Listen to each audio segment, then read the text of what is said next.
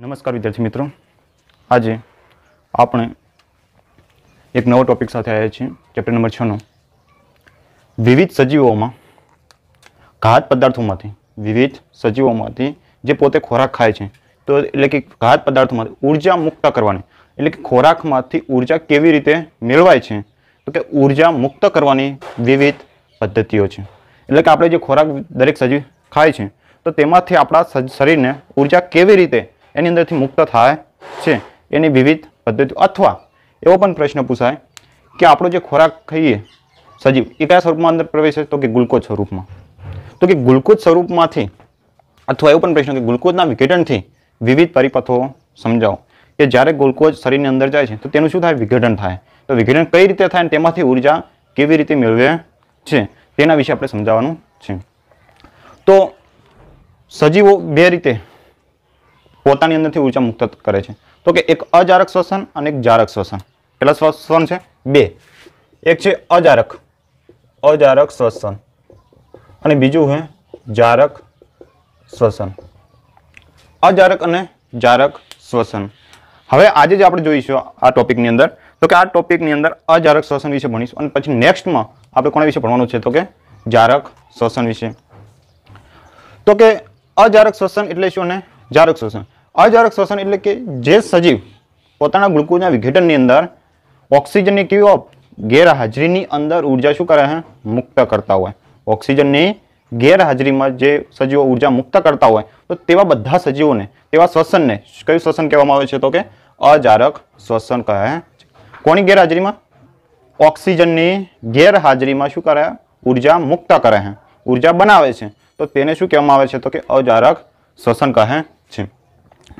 તો પ્રથમ જોઈએ આપણે.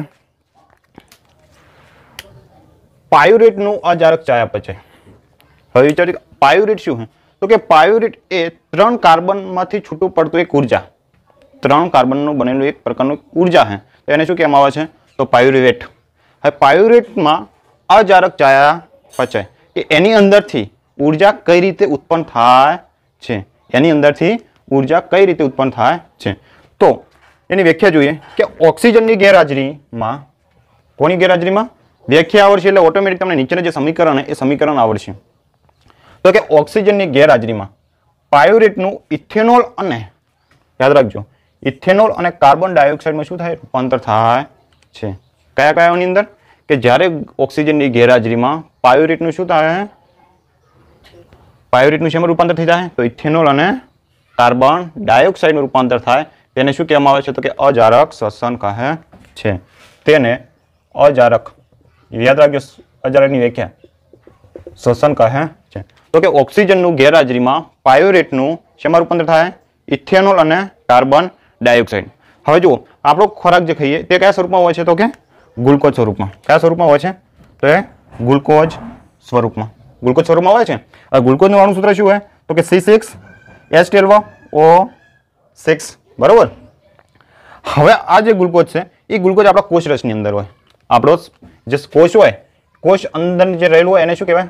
કોષ રસ કહેવાય. કયું શું કહેવાય? તમે નવમાં ભણ્યા છો, કોષ રસ. તો કે આપણા જે કોષની અંદર રહેલું એને શું કહેવામાં આવે? કોષ રસ. હવે, આ જે ગ્લુકોઝ છે, એ કોષ રસની અંદર, પણ એની અંદર ઓક્સિજન જોવા મળતું નથી. એની અંદર ઓક્સિજન જોવા મળતું નથી. હવે આ જે પ્રક્રિયા છે તે પ્રક્રિયા કોની અંદર થાય તો કે ઈસ્ટ કોની અંદર થાય? ઈસ્ટની અંદર ફૂગ.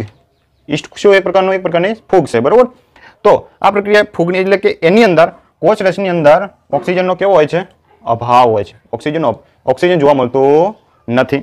હવે, એની અંદરથી આ જે ગ્લુકોઝ છે, એની અંદર બે પાયોરેટ છૂટા પડે છે. બે અણુ પાયોરેટ. એટલે કે આ જે સિક્સ સિક્સ છે, એની અંદર જે છ અણુ હતા, એમાં ત્રણ અણુ શું થઈ જાય? વિઘટન થઈ જાય. આ છ માંથી ત્રણ અણુ શું થાય? છૂટા પડે છે. એટલે કે પાયુરેટ એટલે કે ત્રણ કાર્બન પ્લસ એની અંદર શું ઉત્પન્ન થાય? કે ઊર્જા ઉત્પન્ન થાય. હવે, જ્યારે આ પ્રક્રિયા, જ્યારે આ પ્રક્રિયા થતી હોય, ત્યારે ઈસ્ટની અંદર શું કઈ પ્રક્રિયા થાય? આથવનની પ્રક્રિયા થાય. હવે આથવન તમે જોયું છે, આથવન ક્યાં થાય? કે જ્યારે તમે દૂધની અંદર છાશ નાખો, ત્યારે દહીં બને છે. એ દહીં, હવે જે દૂધ હતું, દૂધના કણો શું થઈ જાય છૂટા પડી ગયા? અને શું બન્યું? દહીં બન્યું? તો એ પ્રક્રિયાને કઈ પ્રક્રિયા કહેવાય? તો આથવનની પ્રક્રિયા. તો, એ જે કોષ રેસની અંદર કઈ પ્રક્રિયા થાય? આથવની એટલે કે એની અંદર ઓક્સિજનની કેવી હોય છે? ગેરહાજરી. એટલે કે જ્યારે ઓક્સિજનની ગેરહાજરી હોય, ત્યારે કઈ પ્રક્રિયા થાય છે? તો કે આથવનની પ્રક્રિયા. હવે જ્યારે આપણી સ્નાયુ પેશીમાં ઓક્સિજનનો અભાવ કે ઓછું પ્રમાણ હોય, ત્યારે પાયોરેટનું લેક્ટિક એસિડમાં રૂપાંતર થાય. હવે આ જે છે એ આપણે નીચે જોઈએ. તો કે પાયોરેટનું ઇથેનોલ અને કાર્બન ડાયોક્સાઇડમાં શું થાય? રૂપાંતર થાય. એ ક્યારે થાય? કે જ્યારે એની અંદર આથવનની ક્રિયા થાય, ત્યારે થાય. તો જો, હવે જ્યારે આથોની ક્રિયા થાય, ત્યારે તેમાંથી શું છૂટું પડ્યું? તો ઇથેનોલ છૂટો પડ્યો. બીજો શું છૂટું પડ્યું? કાર્બન ડાયોક્સાઇડ શું થયા? છૂટા પડ્યા છે. પડ્યા ને? અને પ્લસ આપણે શું મળ્યું હોય? ઉત્પન્ન થતી ઊર્જા મળે છે. તો જુઓ, કે પાયોરેટનું પ્રથમ જોઈએ, ઓક્સિજનની ગેરહાજરીમાં. તો કોષ રેસની ઓક્સિજનનો ગેરહાજરી થઈ ગઈ. હવે તેમાંથી કઈ પ્રક્રિયા થાય તો કે? આથવણની પ્રક્રિયા થાય. અને આથવણની પ્રક્રિયાથી શું છૂટું પડે? તો ઇથેનોલ અને કાર્બન તો ઇથેનોલ અને કાર્બન ડાયોક્સાઇડ શું થાય? છૂટા પડે છે. તો જો ગ્લુકોઝમાંથી કોષરસની અંદર ઓક્સિજનનો શું થાય? અભાવ હોય. અને ત્યારે તેમાંથી બે પાયુરેટ એટલે કે ત્રણ કાર્બન પ્લસ ઊર્જા શું થાય? મુક્ત થાય છે. અને આ પ્રક્રિયા ક્યારે થાય? કે જ્યારે આથોનની ગેર આથોનની પ્રક્રિયા થાય, ત્યારે ઓક્સિજનની ગેરહાજરી હોય. અને જ્યારે ઓક્સિજનની ગેરહાજરી ત્યારે તેમાંથી ઇથેનોલ, કાર્બન ડાયોક્સાઇડ, ઊર્જા. પણ ઊર્જા કયા સ્વરૂપે હોય છે? એટીપી તો એટીપીનું પૂરું નામ ધોરણ નવની અંદર આવ્યો. એડિનોસાઇન ટ્રાય ફોસ્ફેટ યાદ રાખજો એડિનોસાઇન એડિનોસાઇન ટ્રાય ફોસ્ફેટ આ જે ઊર્જા છે જે તેમાંથી જે છૂટી પડતી ઊર્જા કયા સ્વરૂપે સંગ્રહ પામે છે તો એટીપી સ્વરૂપે આપણા શરીરને એટલે કે કોઈ પણ સજીવની અંદર સંગ્રહ પામે છે હવે જ્યારે આપણી સ્નાયુ પેશીમાં હવે આ છે પ્રાણી કોષની અંદર પ્રાણી કોષોમાં કોની અંદર પ્રાણી કોષોની અંદર તો ત્યારે ગ્લુકોઝ સિક્સ એસ્ટેબલ ઓ સિક્સ કોષ કોનો અભાવ હોય? તો કે ઓક્સિજનનો અભાવ હોય છે. ત્યારે તેમાંથી ત્રણ કાર્બન પ્લસ ઊર્જા શું થાય? મુક્ત થાય. પ્રાણી કોષની અંદર પણ ઓક્સિજન કઈ પ્રક્રિયા થાય? આથવનની પ્રક્રિયા થાય છે. પણ ઇસ્ટની અંદર શું છૂટું પડતું હતું? ઇથેનોલ અને કાર્બન ડાયોક્સાઇડ છૂટો પડતો હતો. પરંતુ પ્રાણી કોષોની અંદર લેક્ટિક એસિડ પ્લસ ઊર્જા છૂટી પડે છે. અને ઊર્જા કયા સ્વરૂપે હોય છે? તો કે ઊર્જા એટીપી સ્વરૂપે શું થાય? સંગ્રહ પામે છે. તો આ હતું હજાર તો કે પ્રથમ જો કે આ જરાક બેસ એક ઇસ્ટની અંદર થાય અને એક પ્રાણી કોષોની અંદર થાય છે. તો કે ઓક્સિજનની ગેરહાજરીમાં પાયોરેટનું ઇથેનોલ અને કાર્બન ડાયોક્સાઇડમાં શું થાય? રૂપાંતર થાય. ઇથેનોલનું ઓક્સિજન કે પાયોરિટનું શેમાં રૂપાંતર થાય? ઇથેનોલ અને કાર્બન ડાયોક્સાઇડ. અને આ ઊર્જા પણ એની અંદર શું થાય? છૂટી પડે છે. અને પ્રાણી કોષમાં શું જોવા મળે તો લેક્ટિક એસિડ અને ઊર્જા. તો એવો પણ વિકલ્પ તરીકે પૂછાય કે પ્રાણી કોષની અંદર શું છૂટું પડે? તો લેક્ટિક એસિડ. અને ઈસ્ટની અંદર શું છૂટું પડે? તો ઇથેનોલ અને કાર્બન ડાયોક્સાઇડ છૂટવા પડે છે. આ હતી પાયોરેટનું અજારક ચયાપચય. એટલે કે જે સજીવોની અંદર ઓક્સિજનની ગેરહાજરીમાં વિઘટન ગ્લુકોઝનો થતું હોય, તો એક ઇથેનોલ છૂટો પડે છે અને એક લેક્ટિક એસિડ છૂટા પડે છે. અને આ પ્રક્રિયાને અજારક શ્વસન કહે છે.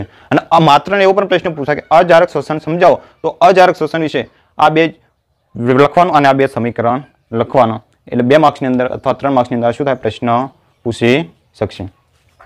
તો જોઈ લો. હવે આપણે જોઈએ. આગળ જે જોયું, અજારક ચયાપચય. હવે જોઈએ, જારક પચા, ચયાપચય. તો વિદ્યાર્થી મિત્રો, કે અજારકમાં શું હતું? તો કે અજારકની અંદર ઓક્સિજનની કેવી હતી? ગેરહાજરીમાં એનું ગ્લુકોઝનું શું થતું હતું? વિઘટન થતું હતું. પરંતુ જારક ચયાપચયની અંદર ઓક્સિજનની હાજરીમાં ઓક્સિજનની હાજરીમાં ગ્લુકોઝનું શું થાય? વિઘટન થાય છે.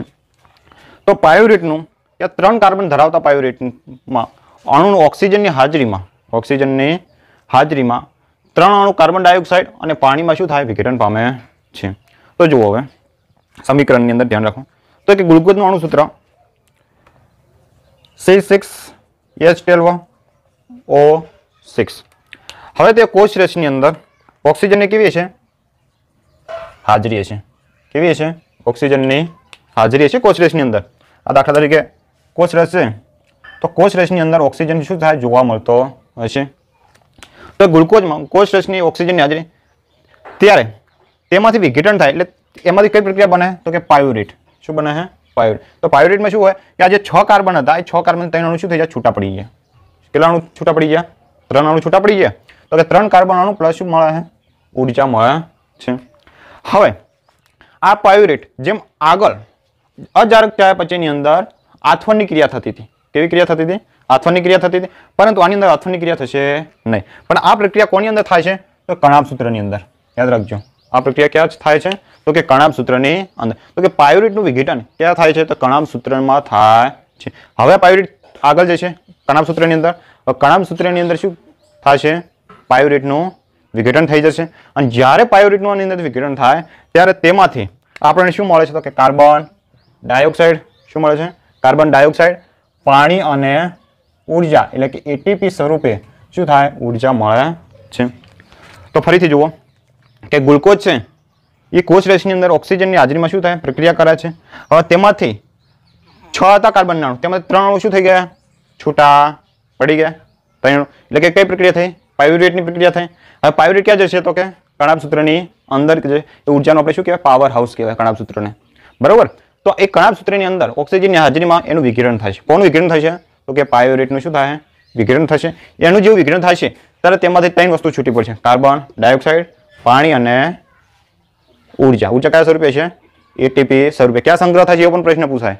ક્યાં સ્વરૂપે સંગ્રહ છે? કઈ જગ્યાએ સંગ્રહ છે એટીપીનો તો એટીપીનો સંગ્રહ હંમેશા યાદ રાખજો, કોની અંદર થાય? તો કણાબ સૂત્રમાં. કણાબ સૂત્રમાં.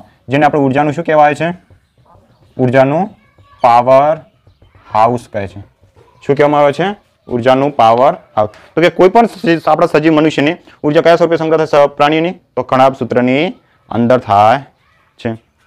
તો કે અજારક શ્વસનની તુલનામાં જારક શ્વસન કેવું થાય? વધારે થાય છે. એટલે કે જે સજીવની અંદર અજારક જે શ્વસન થાય છે, એ અજારક શ્વસનની જગ્યાએ જારક શ્વસન કેવું થાય છે? તો કે વધારે થાય છે. કેવું થાય? વધારે. તો પેલું અજારક શ્વસન હતું અને આ જારક શ્વસન કે ત્રણ કાર્બન ધરાવતા પાયોરેટનું શું થાય? વિઘટન થાય. વિઘટન થઈને કોની અંદર થાય? વિઘટન કડાબસૂત્રની અંદર થાય. તેમાંથી શું છૂટું પડે? તો કાર્બન ડાયોક્સાઇડ, પાણી અને ઊર્જા છૂટી પડે છે. ઊર્જા કયા સ્વરૂપે સંગ્રહ થાય? તો કે એટીપી સ્વરૂપે. કયા જગ્યાએ સંગ્રહ થાય? તો કે ઊર્જા એટલે કણાબસૂત્રની અંદર સંગ્રહ થાય છે. તો આ હતું કે ગ્લુકોઝના વિઘટનથી કેટલા પરિપથો રચાય? તો કે બે પરિપથો રચાય. કયા કયા? એક અજારક ચયાપચય અને એક જારક ચયાપચય. અજારક પચય- ચયાપચયની અંદર ઓક્સિજનની કેવી હાજરી? ગેરહાજરીમાં થાય વિઘટન અને આની અંદર ઓક્સિજનની હાજરીમાં.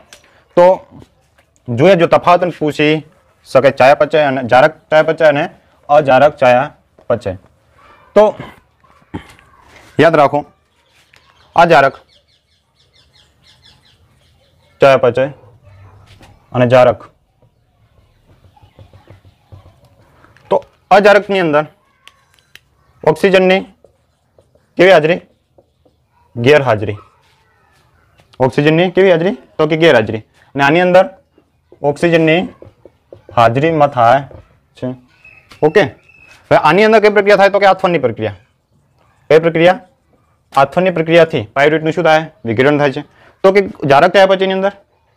આથવનની જગ્યા કઈ આવશે? તો કે કણાભ સૂત્રમાં શું આવશે? કણાભ સૂત્રમાં તે પ્રક્રિયા થાય છે. હવે, આની અંદર તમે શું લખશો? ત્રીજું, કે આની અંદર ઇથેનોલ અને લેક્ટિક એસિડ, લેક્ટિક એસિડનું શું થાય? વિકિરણ થાય છે. ઇસ્ટની અંદર શું છૂટું પડશે તો? તો ઇથેનોલ. અને પ્રાણીઓના સ્નાયુ પેશીની અંદર શું છૂટું પડશે તો કે? લેક્ટિક એસિડ જોવા મળે છે. અને આની અંદર શું જોવા મળે છે? તો કે આની અંદર કાર્બન ડાયોક્સાઇડ, પાણી અને ઉર્જાનું શું થાય? વિઘટન થાય છે. આની પણ અંદર ઊર્જા આવશે, બરાબર? આની અંદર પણ ઊર્જા આવશે. આ રીતે એના શું હતા? તફાવત. તો આવી રીતે પણ પ્રશ્ન ન પૂછાય પણ જો તફાવત પૂછાય તો તફાવત પણ આપણને આવડતા હોવા જોઈએ. કે ભાઈ, અજારક ચયાપચયની અંદર ઓક્સિજનની ગેરહાજરીમાં થાય છે પ્રક્રિયા અને જારક શ્વસનની અંદર ઓક્સિજનની હાજરીમાં થાય છે. આની અંદર કઈ પ્રક્રિયા દ્વારા થાય છે તો કે આથવણની પ્રક્રિયા દ્વારા થાય? આની અંદર આથવણ જોવા મળતું નથી. ડાયરેક્ટ શેમાં થાય છે તો કે કણાબ સૂત્રની અંદર વિઘટન થાય. કોનું વિઘટન થાય? યાદ રાખજો તો કે પાયુરેટના બે અણુઓનું શું થાય? વિઘટન થાય છે. આની અંદર શું છૂટા પડે? તો ઇથેનોલ અને લેક્ટિક એસિડ. આની અંદર શું જોવા મળે છે? કાર્બન ડાયોક્સાઇડ અને પાણી. બંનેની અંદર ઊર્જા તો સમાન ઉત્પન્ન થતી છે. તો આ હતું આપણે પ્રશ્ન કે વિવિધ સજીવની અંદર બે રીતે થાય, ચાહે પછી અજારક અને જારક શ્વસન હવે આપણે આગળનો પ્રશ્ન જોઈએ. હવે આપણે એક નવો પ્રશ્ન જોઈએ.